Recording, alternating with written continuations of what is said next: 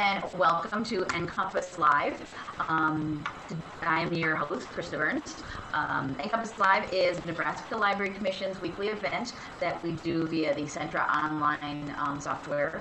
Um, we cover all sorts of NLC activities, library topics you may be interested in, um, presented by NLC staff, and we do have guest speakers come in sometimes. We've got a few of those. Um, we do this every Wednesday, 10 a.m. Central Time. It is for about an hour or however long it lasts, and um, it is free. So um, you can watch it live here for free, and you can watch the recordings for free as well. Um, this morning we have a session on setting up your public access computers. Uh, Michael Sauers and Diane Wells are going to go through that, so I will turn things over to you guys to take it away. All right. And, and you can have control. Um, this is Michael Sauers. I'm the Technology Innovation Librarian here at the Commission. Many of you have taken classes from me or heard me on our podcast or various things like that. And I'll let Diane introduce Whoa. herself. Hello. Okay, camera took a nosedive. Yeah. let's see. Okay, our camera operator's having issues.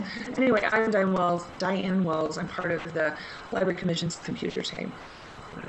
And uh, we did one of these sessions a few weeks ago um, talking about purchasing computer stuff. And I remember at the end we got a question or two about some security issues. And so we just decided, hey, why don't we do one of those? So we've kind of put together a PowerPoint here for you. Uh, we've got some opinions. We don't always agree. Um, and that's half the fun, I think, in, in many times. Um, and so we're going to kind of go through this the, the uh, material we have. Um, we have no control over this camera at the moment. For those of you watching the live session, Yes, really. uh, it's getting a little uh, uh, drunk in there. Um.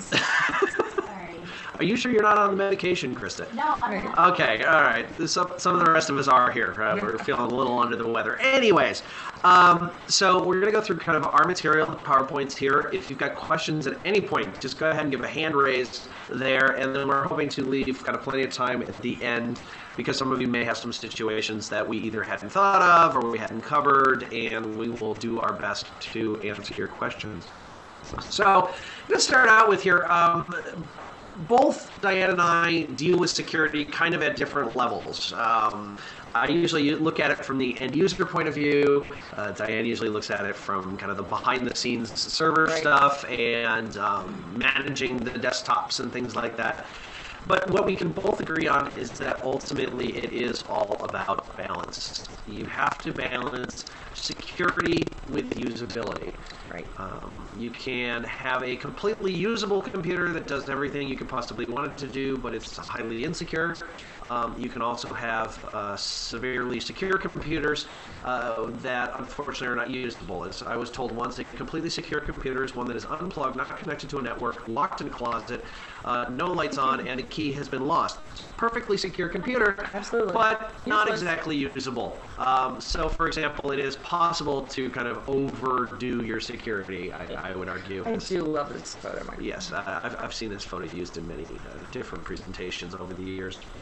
So I went out and found it. So, like we said, it's a balance. There are not necessarily any right or wrong answers. We have some strategies, we have some suggestions, but they might not all apply to you in particular or your scenario. So, uh, let's go ahead and just talk about some general strategies. Dan, do you want to run through these? Sure. Um, basically, you want to be sure that your um, public access computers don't allow, aren't set up to boot from anything except um, the hard drive. Um, that's set in the BIOS. It's a really quick to get into the BIOS. It's a really quick keystroke um, before you actually before the operating system loads, and then um, there's the menus vary in how they look, but they're basically always like white text on a black screen kind of thing.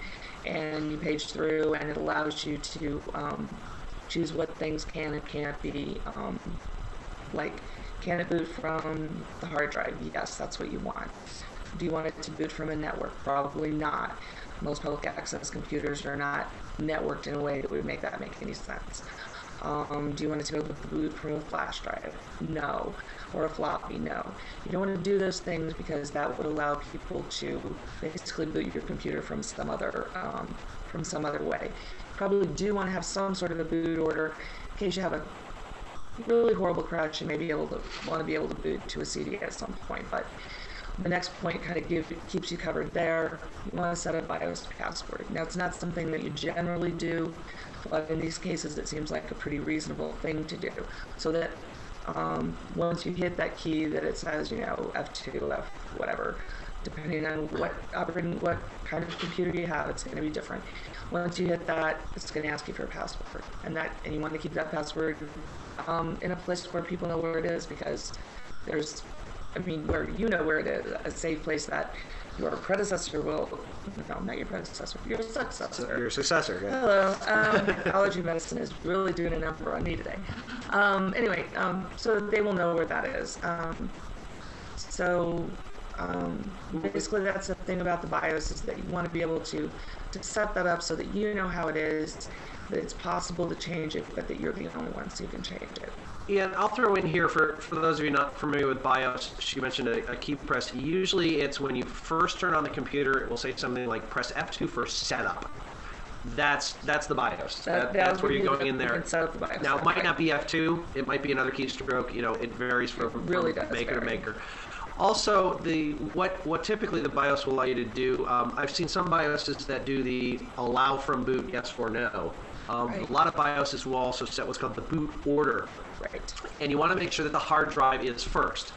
Now, for security purposes, that's great. That way, I or somebody else can't come up, stick in my flash drive, and boot a completely different operating system on your computer. But that can cause a problem eventually when you go to use, say, your Windows recovery disk, Right. and you need to boot from the CD-ROM. Well, you'll have to remember that you listed the hard drive first, go back in, change it so that the. CD-ROM is first, and then you can boot from, say, a recovery disk or something like that. Yes. And the setting the BIOS password just basically prevents somebody else from changing your boot order Right. that you set. That. Okay, Michael, this public should not run as admin. Now, this is your, I mean, this is, this is, this is sort of the place where we get to talk about the things that, that we don't always agree on. Um, and, and, and because there is no real right and, right and steadfast wrong to this kind of thing, um, generally I'd say that, you know, you don't want your public running as administrator. Um, you don't want them to be able to install software. You don't want them to be able to make major changes to your machine. So um, the maybe unless we'll cover in a little bit, there are some programs that make it possible for um, you to go ahead and let your public run as an admin, and then none of their changes will be saved. So that's what the maybe unless is all about. Yeah, but I would agree. A general rule of thumb, unless you've got some additional software, would be don't let the public run as an admin. I, I mean that that is you know perfectly acceptable uh, unless you've taken additional steps. A lot of additional steps, say, right? So, all right. Um, so Patch Tuesday. I, I love my little pirate guy here. Um, I, I, want to do a quick yes or no here. Let's make this a little interactive. Check your yes or no if you know what I'm talking about when I say Patch Tuesday. Okay, we got one yes, one no. Okay, there's there's nine of you out there. Um, oh yeah, okay. There's eight of you out there, and there's a room full of NLC staff somewhere in this building watching. so most of them, maybe I don't. Let's, let's see if we can find out what their answer was. Okay, we've got. Um, NLC is saying yes. Good. I know some of the computer people are, Yeah. are in the room, so, so they're going to it. Okay, it's about a 50-50 split. The point of this slide is the following. You need to run your software updates. You need to install the security patches. Um, if you're running Windows, if you're running Mac, even Macs have security patches. Um, much of the other software, um, Java has been updating a lot lately. Firefox has had a security update lately. Um, there's a new version of Internet Explorer, which you may or may not want to be updating lately. Um, but Patch Tuesday is Microsoft's day every month. It's the second Tuesday of the month where they release all of their updates and security patches. Now, they will periodically release them um, on other days, but you can pretty much bet that the second Tuesday of every month there's going to be a bunch of updates for your computer. So, what I generally recommend is mark that on your calendar, and then sometime later in that week, you know, you might need to wait till the weekend, you might need to wait until uh, Friday, something like that. But make sure that um, if your computers aren't automatically updating, which is a whole other issue, um, which your public machines may or may not be, that you go and you get those patches. Absolutely. It's So, the, it's the best thing you can do for any of your, any system. and honestly, at this point, I haven't heard of a patch screwing up a machine lately. I mean, it's it's It's been a while. yeah, you pretty much can get those patches, and it's not going to cause problems. Uh, There's always exceptions to everything, but Right. you know, But percentage-wise, you're just much, you're much more likely to have a problem if you haven't patched it. Right, exactly. So. Um, the other one we like to talk about is, is reducing temptation. Um, I, I usually talk to libraries where they have a, a public login and they have an admin public uh, admin login, which makes complete sense. Um, and then they go and they they name their admin login admin. Um, Staff. yeah, or staff. Although I will admit, I've I've named them staff before. As if anybody got any of some of the Gates machines, but you know maybe you should have your username be something other than the obvious admin or staff. Um, it's just kind of you know. You're a 15 year old, you're not necessarily malicious, but you sit down in front of that computer and you see a thing that says, click here to log in as administrator. What are you going to click on? I mean, it's, you're going to give it a shot. Um, Got to spend at least, you know, 35 minutes trying to trying. You know, but You it, know? it, it might work, might not. Um, yeah, I had one library suggest they, they called it like you know for children only or something like that, and you know none of the teenagers would go near that login. um, so because you know what, how cool would that be? Exactly. Really. Um, so you know, it's it's just reducing the temptation for people to play around with your system. They're gonna do it. Um, you know, it's not necessarily malicious, but you know, people are curious and they're gonna try it. It's a computer, so why not? All right, what's next? Oh, passwords. The We lovely, love lovely passwords. passwords. Um, this is where I, in, in my security workshops, I say we're gonna have the talk um, we're gonna have the passwords talk. Many of you have had the passwords talk. Um, a slide I didn't throw in here was like the, the most popular passwords, and uh, Oh. just you know, I, usually the most popular password is the word password. I, I love that one. Uh, or just A- the username again. the username again, uh, ABC123, that sort of thing. Mm-hmm. Um, a, a question, let's do this interactive again. Yes or no? Do you use the same password for everything or a lot of your, of, of your things, or are you sure you have a different password for everything? Okay, so we got one person saying uh, yes to using the same password for everything. Two no's. Three no's. All right. Some of you are really, really good. Five no. Oh, we're doing great. Okay, I, I'm. This I'm- is good news. I, I can't see who's saying what, so I won't name names. But Right. for, for the person who's using the same password for everything, stop. Um, or at least have a different password for your bank account. Um, at a minimum. I mean, completely have a different Maybe password. we were, they were strictly talking about, you know, work and life or whatever. So, But yeah. I mean, you know, We I'm, weren't very I'm- specific I'm- about it. Yeah, exactly. So, so let's let's let's do the little thing here. Uh, I don't know if you can read that, but that says passwords are like pants. Uh, it's a British sign. Uh, um, you shouldn't uh, leave them hanging around where anybody can see them. Uh, you shouldn't share them. Uh, you shouldn't, and you should change them regularly. Is a thing, and we'll, we'll, we'll get to the change regularly in a minute, where we might have uh, another slight disagreement. But um, we'll say uh, password size does matter in this case. Uh, the longer the password, the better. Of course, the longer the password, the harder it is to remember. We'll talk about that. Um, but on average, my passwords run about 10 characters long. Yeah. And Diane, 10 to 15 10, 10 to 15? Yeah. Um, and for those of you thinking, but how do I remember that? We'll, we'll get to that. Um, almost everywhere, passwords are case sensitive. So mix up or lowercase. Um, definitely a good idea. Uh, mix in some numbers. Mix in punctuation and symbols. Um, you know, throw in shift and those number keys in there. Uh, can do that. And uh, spatial, spaces are usually allowed in, in, in many uh, places, especially like the Windows login and, and various things. Um, I have a password on my uh, Wi-Fi at home that is 63 random characters long.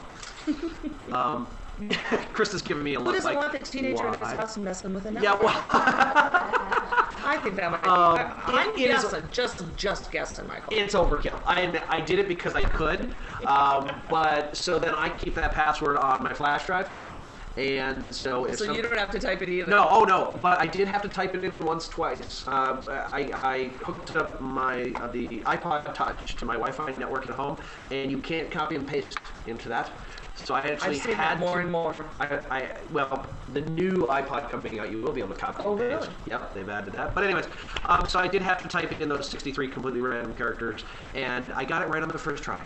I was I, was- I figured I was going to try it once, Okay. and if it didn't Do we have an applause button?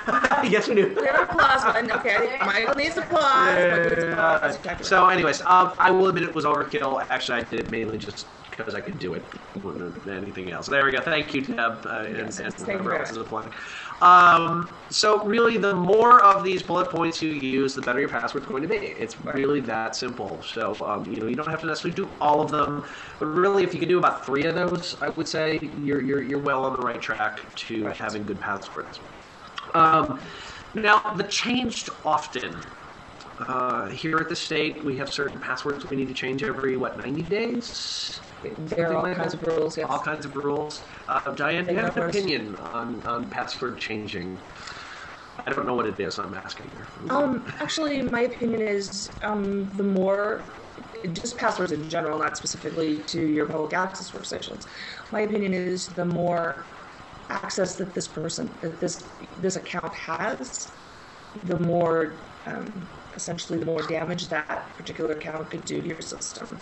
Then the more frequently the password ought to be changed, and the better the password needs to be. And so levels of password protection make sense to me um, strictly from that standpoint. A more limited account has access to um, fewer things than, you know, maybe doesn't have to be changed quite so often.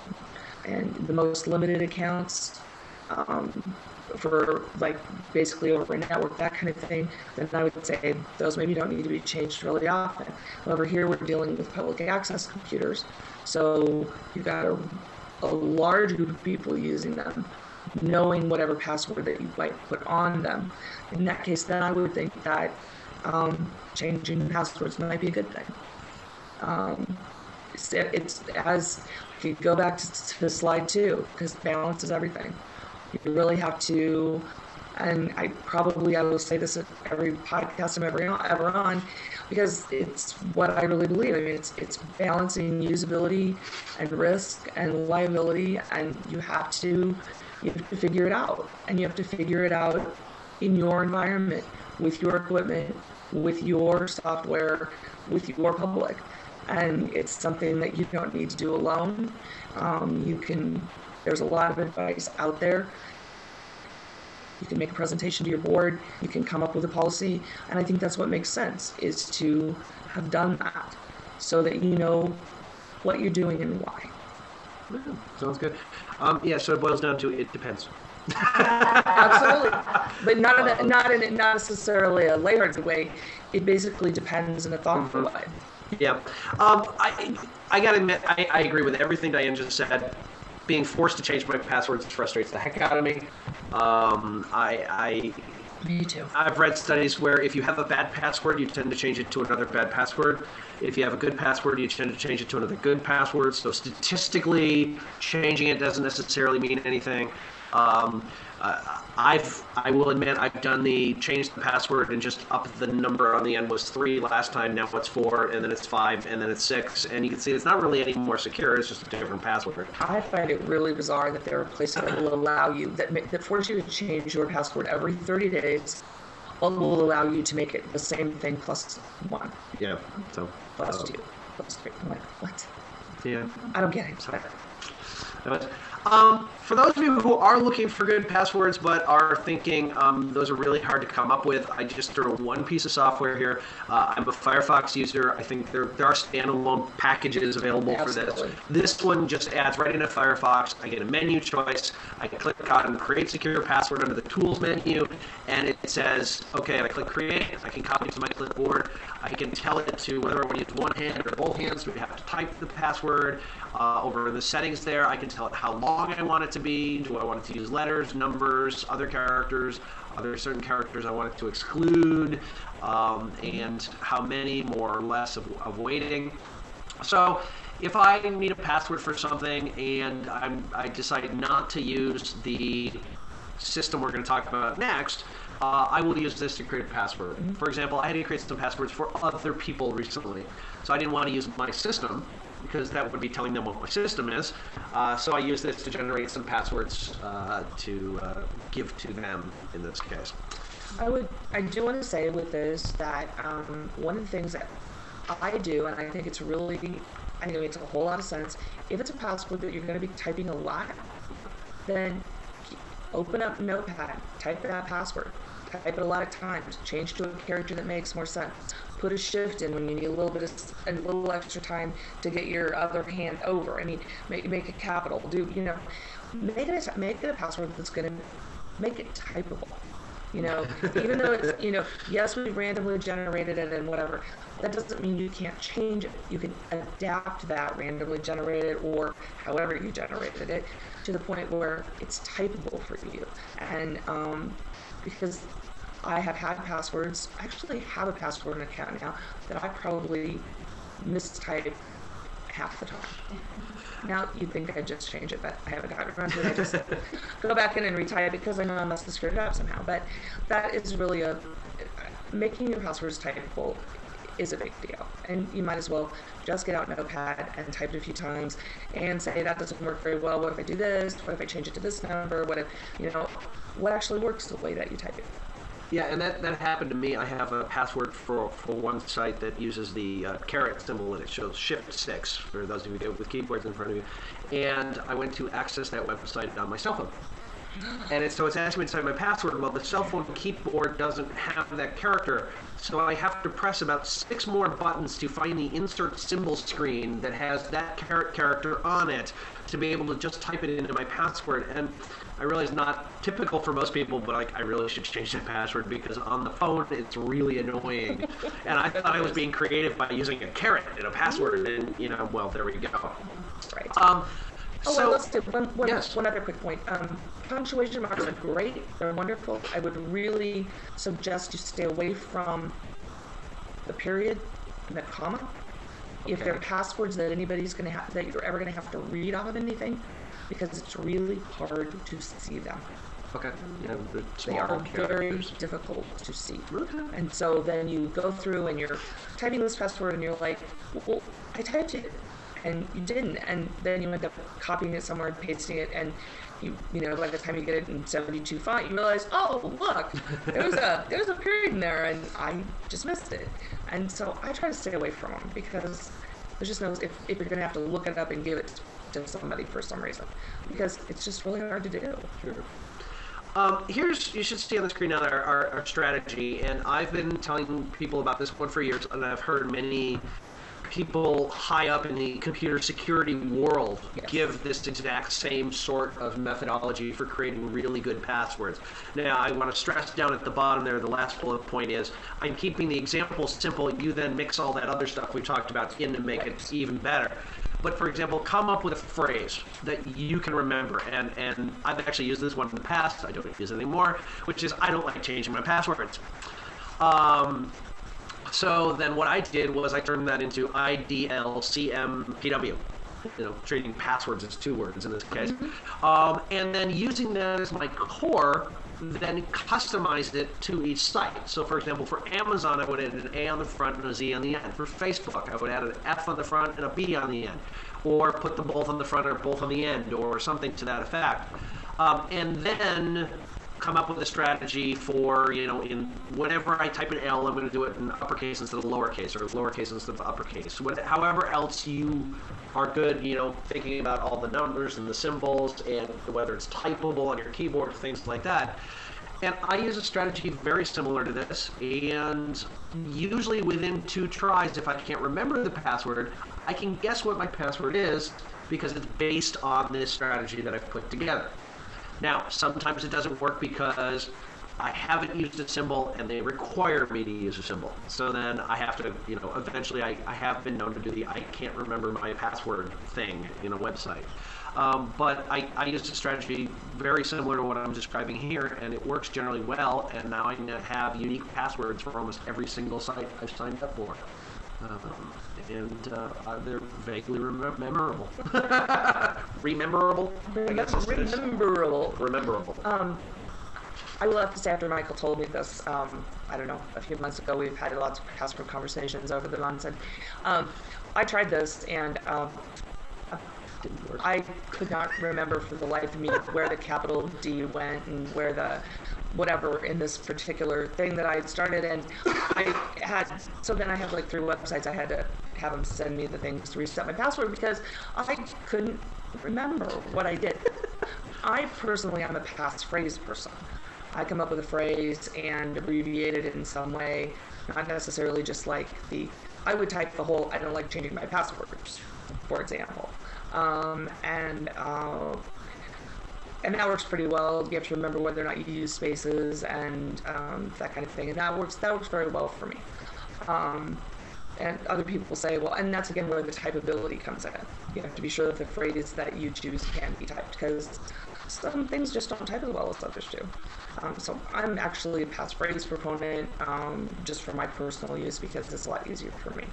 And you can still add the, you can add numbers, you can mix the case and symbols and whatever. But as you um, as you add in, in some places it doesn't work very well because they have like a six character limit. So I have like two sets of I have like two sets of password strategies. I have like the passphrase which I use anytime I can, and then I also have the other the little password strategy because I can only use six characters and it has to have a number or it has to have whatever. So then there's kind of like so I you may end up having to have two strategies because of that. It is rare that you'll you'll pick a password on an account and they'll say your password is too long, but it does happen. Uh, so I, every once in a while, I actually have to have a shorter password. You know, I guess we're kind of this. This is about public access computers, so maybe we want to like. I guess this maybe Yeah. the point for this, but But you, you can't have a security talk without yeah, without belaboring about passwords. passwords. Um, yeah, we're about halfway through. Does anybody have any questions at this point with anything we covered? Um, just go ahead. Um, oh, text chat. Look at the text chat. Um, but it's so hard to remember them. Okay, so uh, Judy, hopefully we, we've addressed that uh, comment. For, I will also throw out. We don't have slides for this. There is software out there that will securely store your passwords. Now, so I have one. I purchased it. It was 30 bucks. There are free ones. right. But the reason I purchased mine is it will sync to my phone. So as long as I have my phone with me, I have all my passwords. But all of them are stored behind a master password. So I have a completely different password that doesn't relate any way, shape, or form to my typical scenario. And uh, so if I've really forgotten the password and I, I don't have time to do the email me the whole thing, whatever, I can pull out my phone and I can look up a password in my account. As long as I've remembered to put it into the software. I have forgotten periodically. So, uh, you know, there, there, there's software that can help you uh, with that. Um, okay, so yeah, okay. Not seeing any other questions at this point or raised hands. Why don't we go ahead and get kind of back to the desktop? And this is kind of going to be the um, but unless on Right. the admin area. Did, do you want to start with this one? Go. Um, all right. There's a piece of software out there called Windows Steady State. Uh, if any of you have gotten any of the recent uh, laptops or desktops from us through the Gates Foundation, and you are familiar with this software, whether you like it or not. Um, it is free. Now, there are some non-free options that we'll talk about in a moment, but Windows Steady State is completely free. It's from Microsoft. The URL is there on the screen, and we will provide bookmarks for all of this after the fact, as we usually do. Um, and it allows you to do uh, several things. Um, the main things that would be of concern in this case is the ability to lock profiles and what's called hard disk protection. Now, additionally, there are all sorts of things where you can stop certain pieces of software from running and, and, granularly control what the user can and can't do.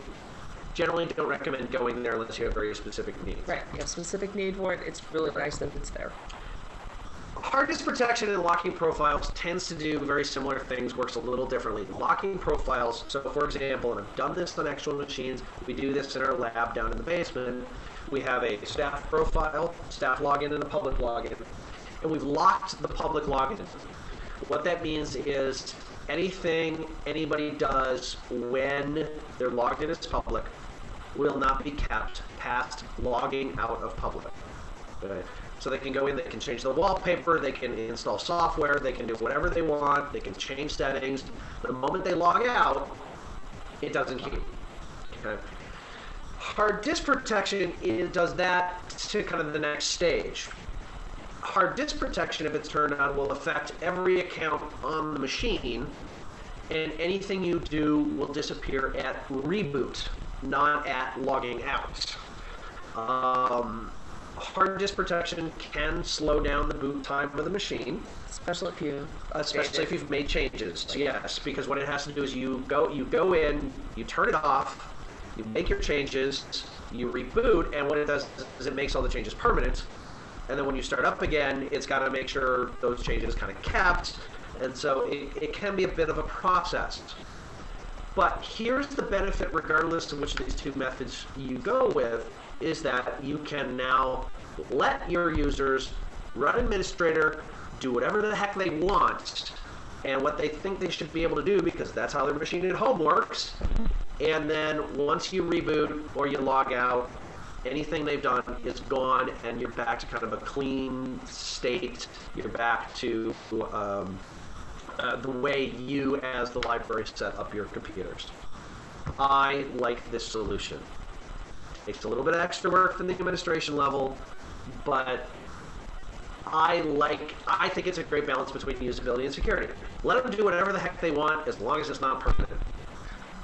And I'd have to say, you know, um, one of the reasons we have public access computers in libraries is for those people who don't have home computers.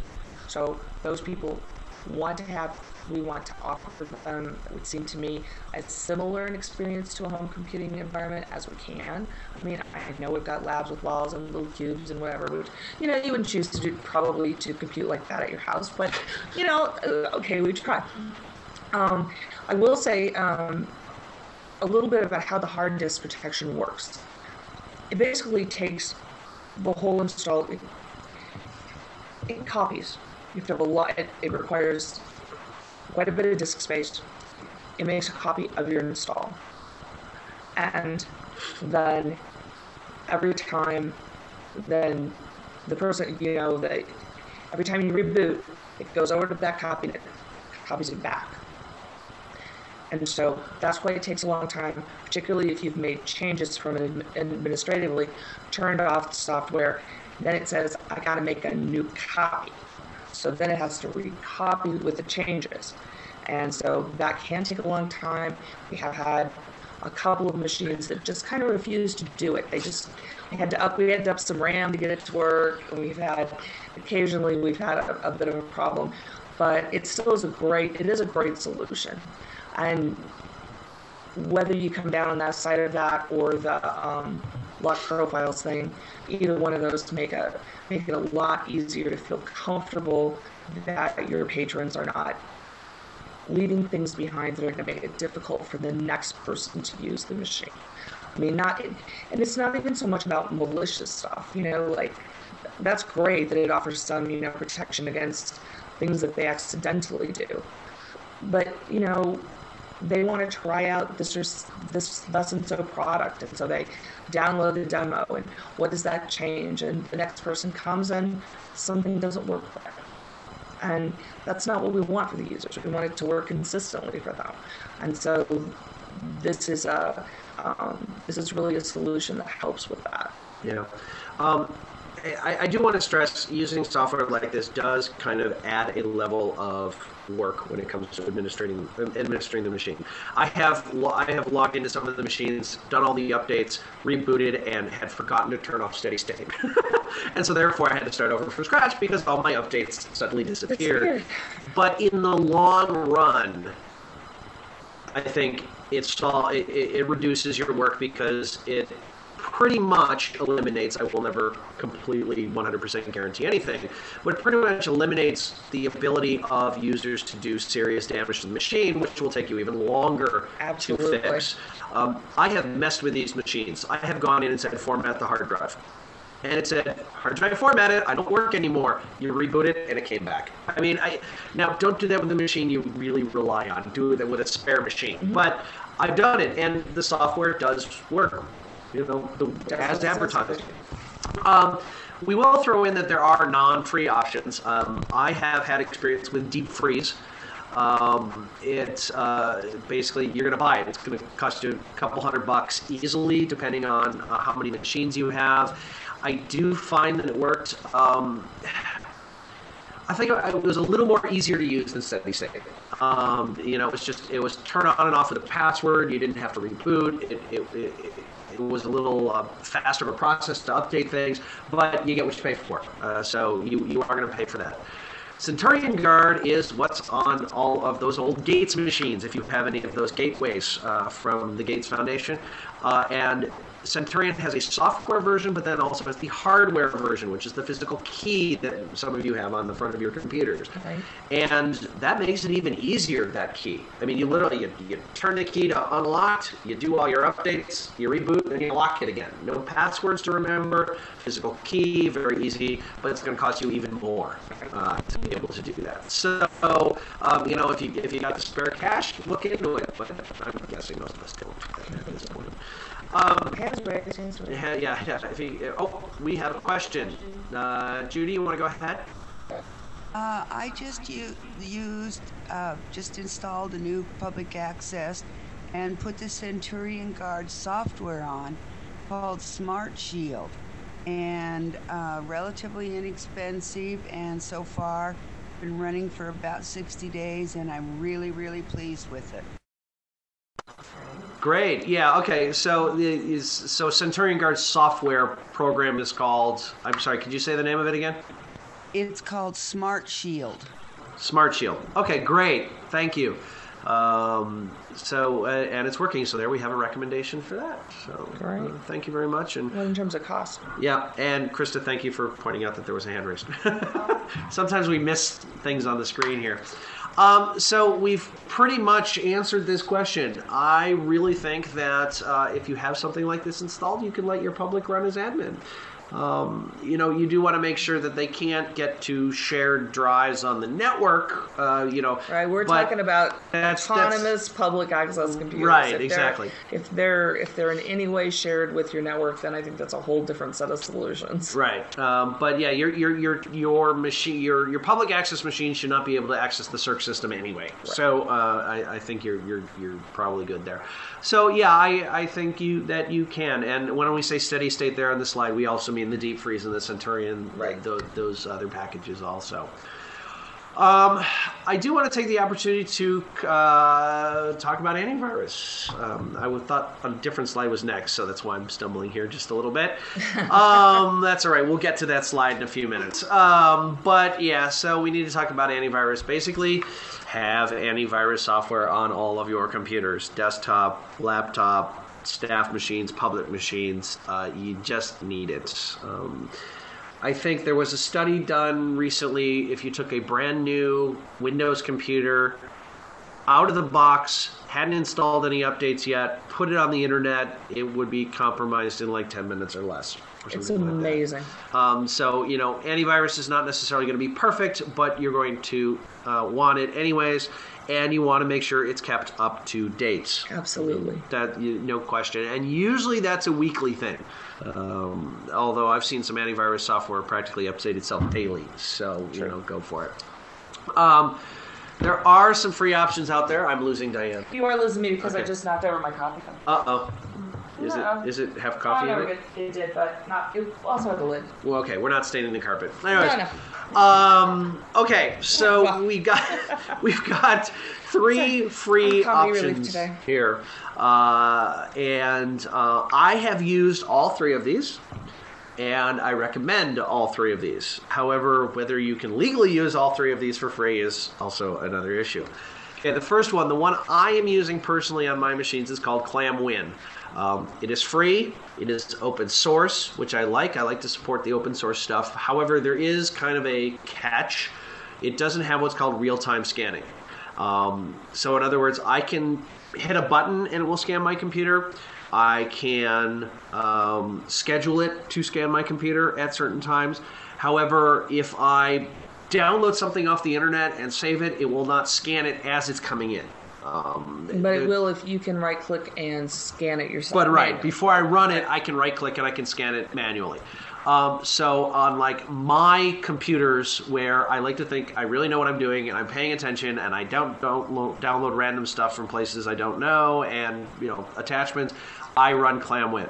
Uh, on You the, don't have do you don't have have seven thousand emoti- emoticon programs? no, I do not have 7,000 emoticon programs. Now, the 15 year old in my house, she does not have ClamWin. She has something that will scan stuff on real time I because. Uh, Because you know, those seem to be irresistible. I have she, no idea. She will download all sorts of random stuff. Although she's, she, she's actually much better than I make it sound out to be. But anyways, um, so there you go. The other two, which I have used, and probably most of you have heard of this next one, AVG Free. Um, it is free for home, and I will also point out Avast is listed as free for home. Uh, you download it, you install it, you run it, it updates itself, it does real-time scanning, it does scheduled full system scanning. They they do everything that the expensive paid-for software will do. However, a library is not a home. Um, but I know of libraries that have just downloaded the free version and are using it anyway because what are your chances of being caught? I'm not recommending this. I'm just saying. Um, so uh, we leave that up to you.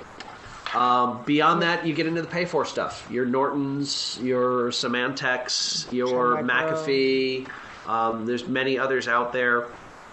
And to Um, be really honest, some of them are not high, are not hugely expensive. It's not it's not like it's un, unfathomable to pay for your virus protection. Mm-hmm. It's certainly not. And um, to go to go with something that is, I don't know. I I tend to appreciate the more minimally invasive ones. The ones that Not require require the least amount the the least amount of um, you know disk space that have the, sort of lowest system requirements um, tend to be the ones that aren't going to try to run your life which and um, sometimes the more um, what would they say um, I don't know the the bigger programs tend to have uh, resource with all the whistles, yeah, they tend to be resource hogs. They slow stuff down, and some stuff just won't run with them. Mm-hmm. So if you look at if you have a if you look at an FAQ for a program you're installing, and there'll be trouble that say, well, you might have to uninstall this, or is your virus protection that, or or those kinds of things. So those are things you do need to think about. Yeah. The two things I will say, getting a little outside of um, the first one gets a little outside of your public desktops, but there's absolutely no reason to pay for antivirus software in your home. Use one of these three. Honestly, there's Awesome. just there, there's no reason to pay a subscription fee. There's no reason to pay for the software. Just do it. They make their money off of the companies that have to pay for it. So I mean, really. Um, the other thing I will say is never have two different antivirus programs on the same computer. you do not get double the protection. What usually ends up happening is they, they start reporting each other as viruses, and it gets really messy very quickly. So if you're using something like McAfee that came with your computer, you want to stop paying for it, make sure you uninstall it first, get rid of it, then install one of the free ones because Yeah. they, they will conflict with each other very quickly and very nastily. Um, so I've, I've had to clean up machines that had multiple antivirus software on it, and it just wasn't pretty. Um, ah, this is the slide I was expecting a few minutes ago. Um, I have heard people report, and I've read articles that said, well, if I'm running something like Steady State, if I catch a virus, all I have to do is reboot the computer, and the virus is gone. So therefore, I don't need to run antivirus software. Um, that is factually accurate, but leaves out some important concepts. In other words, steady state and the like does not eliminate the need for you to run antivirus software. Because the idea is antivirus software will prevent you from catching it in the first place. If you if it gets past your antivirus software, then getting rid of it's easy by rebooting if you have something like steady state. But unfortunately, there might be a, there might be hours between the time where you catch it and where you reboot your computer to get rid of it. And who knows what it's doing to not just your computer, but other computers, Right. maybe not even in your building. It could be during that six hour period spamming itself out through your network connection um, and doing damage to completely other people, you know, other people's computers until you reboot. So you really still want the antivirus software to prevent things from, like that from happening between the time you possibly caught it and you reboot it by preventing you from catching it in the first place. It's really a thing you do to be a good citizen. Yes, yeah, good etiquette. It's your good. It's your good citizen thing that you do. You make sure that your machine is not going to be doing bad things to other machines for Mm-hmm. any length of time. Yep. Um, two more slides here, and then we'll open it up for questions. Um, phishing or anti-phishing. Phishing is those wonderful. You get the email that says your bank account has been compromised. Click on this link to go to U.S. Bank and log into your account to, to fix the problem. And unfortunately, uh, us uh, librarians and patrons will fall for this periodically. Sure. Um, please don't. Your you know bank will never provide you a hyperlink to log into your account because what ends up happening is you get to another website that isn't your bank. It just looks like it. Uh, and then you type in your username and your password. Well, this has become such a problem that most browsers have built in anti phishing features. And what we've done here on the left is we've pointed out where it is in the settings for Firefox. And on the right, we've pointed out where it is in the settings in Internet Explorer 7. I don't know if it's changed in 8. It's going to look about the same. yeah, it's going to look about the same. I believe they are on by default. You want to make sure they're on. This will not prevent any and all phishing from happening, but there are lists of known sites that get added quite regularly, updated quite regularly. And so if you get to one of these sites, you know, the screen will kind of go black and a big announcement will come up saying, This is a suspected bad site. Are you sure you want to be here? Yes or no? And typically you say, No, I'm not sure I want to be here, and it will take you off to like Google or something like that. It will it will warn you of that. And I think that would be a good you know, it's a, it's a good thing to do for your patrons if nothing else. Uh, because I get those reports of patrons coming into the library going, "It says I won a million dollars. Will you help me get my money?" Um, you know, and then we get into have to explain to them that no, you didn't win a million dollars from Nigeria. So, um, and then last but not least, um, some privacy issues you may want to deal with on your computers. Um, Web browsers and computers are designed for one person to one computer, really. I mean, yes, you can have multiple logins and things like that, but what they're not designed for is what we're making them do in a public access situation, which is thousands of people using the same computer. And so there are privacy concerns that are not issues in the home. Your browser keeps a history of where people have been. Your browser keeps copies of pages that uh, people have visited, called the cache. And your password, your your browser by default typically remembers people's usernames and passwords. We highly suggest you turn these features off before for privacy issues. Um, you know, data that you don't have can't be requested by somebody, whether legitimately or illegitimately. And Um, data that's not there will not be viewed by the next person who uses the machine. Right. So, what we generally suggest is in your browser settings, and if you're using something like a steady state, do this while it's turned off. Find the history settings, set it to zero. You have no reason that. Do you advise what? Uh, okay, I. Hi, Deborah. Um, I see the question down there in the text chat. We'll get to that in just a moment. Okay. Um, well, yeah, that's that's that's a that's going to be an interesting conversation. Anyways, um, zero the history. There is absolutely no reason a public access machine, in my opinion, should keep keeping a history. I mean, really. Nope. You, you don't need to know. Your patrons don't need to know who visited what, where, and when. Useful on my desk, but not in a public machine. The cache. Now you can set the cache to zero. There's kind of a, a downside to this, however. Um, the cache is there to make sure that the browser runs a lot more smoothly. Because if it's the, you know, when you hit the back button, it's not necessarily reading the page off the internet again, it's reading it off your hard drive, it's reading it off the cache. So turning off the cache does actually slow down your surfing experience. However, you can set it really small. You can set it for like 10 megabytes or something like that, or 5 megabytes. Usually it's measured in gigabytes these days with really large hard drives. You don't need to store that much information. Okay? And then zero it. So then when you do reboot, if you're running something like Steady State, it's back to zero every time you reboot it. Um, and the password memory, really, there's absolutely no reason for that. Just turn it off. Then the the um, the browser won't even ask the user if they want their password to be memorized. There's just zero reason for people to on a public machine to have the browser remember their bank account password. It's just not needed. Turn it off. Diane, do you have uh, any Nope, opinions that's on pretty that much one? nope. That's We- exactly we- that's exactly why we put up that slide. We agree. just- you know, All right. Um, so we have a question. I'm, I have a feeling this is a loaded question, but we didn't ask anybody to ask this. Uh, do you advise watching the public access PCs or uh, to watch for users looking at porn or other unwanted sites? Okay, I, I'm, I'm just gonna. This is my opinion. Absolutely not. um, I, I gotta say, I'm on the, the left end of opinion here.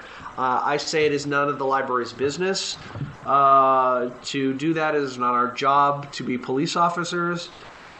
It is a policy issue. You, you do need to have some sort of written policy on this. I am not saying that you shouldn't deal with issues as they arise. Should another patron complain, or should you walk by them and notice something? But I am, I personally am foursquare against kind of an active, intentional monitoring of what people are doing on the computers on the part of library staff. Um, we, most of us, many of us in public libraries are government entities. That is not our job. And I will stress again, this is my personal opinion on this issue. And basically, I'd have to say that's probably why I was hoping this wouldn't come up because, because I think that it is it is such a horribly loaded issue, and it's really um, it, it's really difficult. And having a policy is important. Community standards are important, and and you know, no one wants people to be um, exposed to things that they would find offensive. No one wants to promote that. And on the other hand, um, one of the things we're trying to do is to allow people whose income does not allow them to have a computer in the privacy of their home, the ability to do the things they would do in the privacy of their home. So then again, that makes it kind of none of our business. So I think it is a policy issue. I think that it's very that it is important that a library, a librarian, and the board have a policy, and that you're able to demonstrate that you have this policy and abide by it, and that your staff is is agreeing with it. Um, but like I said, I, I tend to be on on the same page with Michael in that, it, which is that um, it's really not any of our business. But then again, that's my opinion, and it certainly doesn't represent any advice that um, this agency is giving to librarians in the state. So um, that's why it's not on a slide anywhere, and it wasn't anything that we planned to talk about. Yeah. Um, we have another uh, request. In the interest of time, I'm not going to actually show this on the video, uh, but it's it's how do you we do that browser privacy stuff in Internet Explorer? I will tell you, it's very simple. You go to Tools and then Internet Options, and on the General tab under Browsing History, there is a button labeled Delete. You click on that delete button, it will say, What do you want to delete? It will give you a whole bunch of options, such as the history and the cache and the whatever, and that will clear it out. There's also a settings button, which will allow you to say how long do you want to keep the memory, mm-hmm. how much disk space do you want to set aside to that. Basically, set those to either very small numbers or to zero, which would be a very, very small number. Um, so, tools, internet options, general tab, and then it's right there under browsing history are the two buttons available to you uh, to change those options. Firefox very similar. It's under Tools, Internet Options, and I think there's a uh, there's a History tab and a Privacy tab. I think you, like you want to take yeah. a look at. So those are available to you. Um, we are running short on time. We're, we got about two minutes left here officially, although we can go a little long. Um, We've only recorded 15 minutes. Oh, but okay. Well, uh, all right. We've got time. Uh, do any? Does anybody else have any other questions? If you want to just type it in the text chat, you can do that. Um, if you uh, have the mic and want to ask it via audio, just go ahead and give a quick hand raise so we can call on you and mute our mic while you're talking. Um, I will throw in while we're waiting to see if we have any that uh, starting in May. I know there's one scheduled in North Platte. Uh, I am doing some policy workshops coming up, so uh, watch the training calendar for that uh, throughout the rest of this year. And Dana, you have a question, so why don't we have you go first, and then we'll have uh, Deb ask her question. Did you mute our mic? Da- uh, Dana, do you have a mic? You'll just want to hold down your control key while you're talking.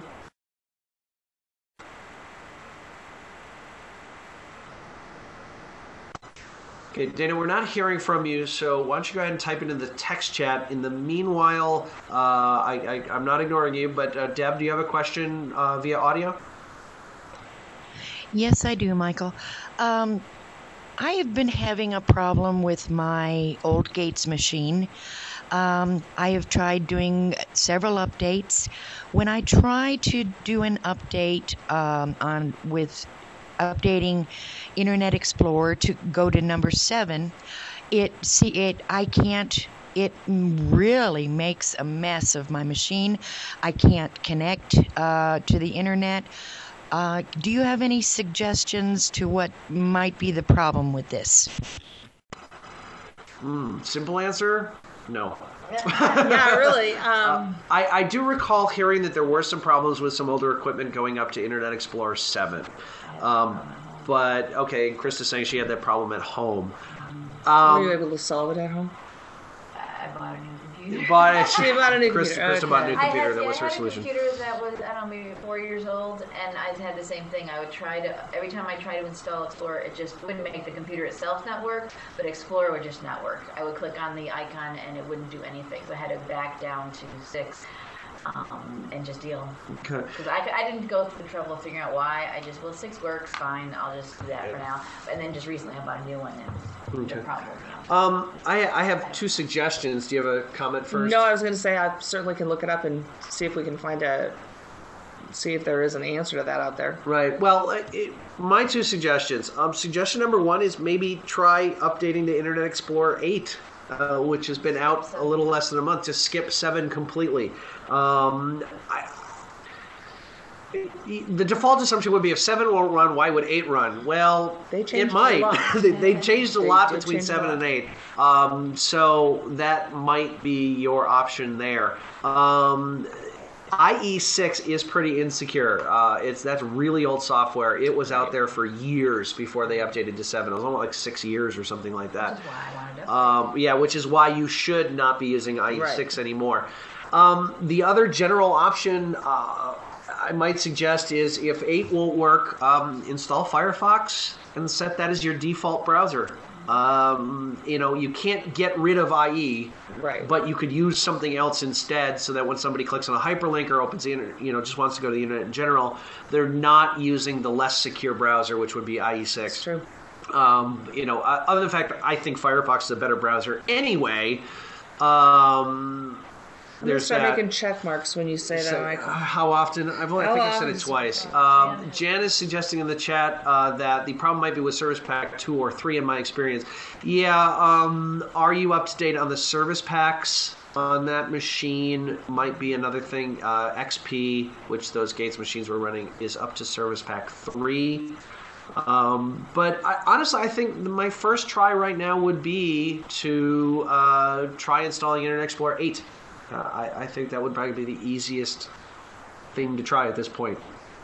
Well, checking your service packs first because you Well, really do want to have those You should service be packs you up should date. be up to date with your service packs. Also, I mean that that's also a security issue that you, you want to make sure you're up to date there. So Um, Dana, if you want to ask your question, if you don't have a microphone, there's a text chat button in the top of your interface. If you click on that, a new window will pop up where you can type in your question. It's a separate window from the main Centra interface. and if we're just confused and you're having no problems, we apologize. Just wanted to let you know. yeah, yeah. Really? Um, so, anybody else have any other questions or comments for the benefit of the group?